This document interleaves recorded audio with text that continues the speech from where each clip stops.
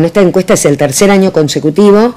eh, que se lleva a cabo y bueno, hemos eh, notado que genera un insumo muy importante para el diseño de políticas públicas, no solamente desde el gobierno municipal, sino también para el sistema educativo. De hecho, se hace eh, con todo el apoyo del sistema educativo y en esto quiero destacar el apoyo de la inspección distrital, de las inspectoras de área, de los directivos, de los docentes y de todos los que, los que permiten que esto sea posible. Pero realmente creo que es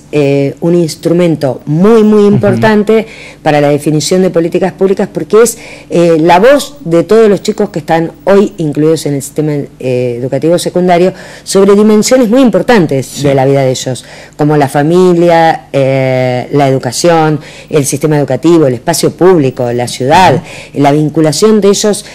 con la tecnología, con las sustancias tóxicas, con el alcohol,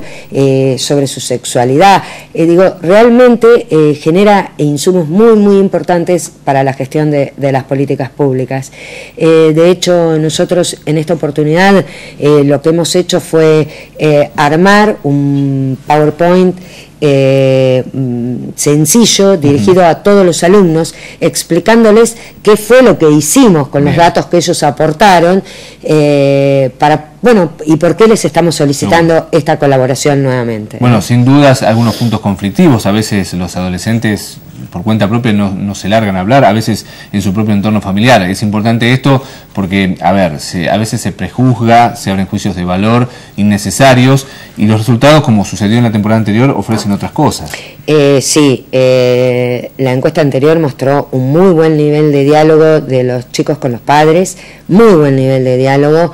Y yo creo que además, eh, bueno, esta encuesta lo que tiene justamente es eh, que al ser anónima y autoadministrada, mm. Eh, y bueno, esto se los decimos mucho a los chicos, les pedimos mucho la verdad, porque bueno, para nosotros la verdad de, en cualquier tipo de, encuesta, ¿no? Eh, cuanto más conteste con la verdad el, encuestado, mayor calidad va a tener el dato y mayor resultado va a tener el estudio que se esté haciendo. Esto culmina mañana en cuanto al trabajo y el sondeo de las 22 personas que están haciéndolo. Eh, ¿En cuánto tiempo aparecerán los primeros datos? ¿Un par de meses tal eh, Bueno, nosotros entendemos que ya el día lunes 22 eh, podemos estar iniciando el proceso de carga de todos estos datos, que es un proceso lento, porque estamos hablando de cargar eh, más de 9.000 registros o 9.000 formularios, pero estimamos que ya en aproximadamente la última semana de mayo podríamos estar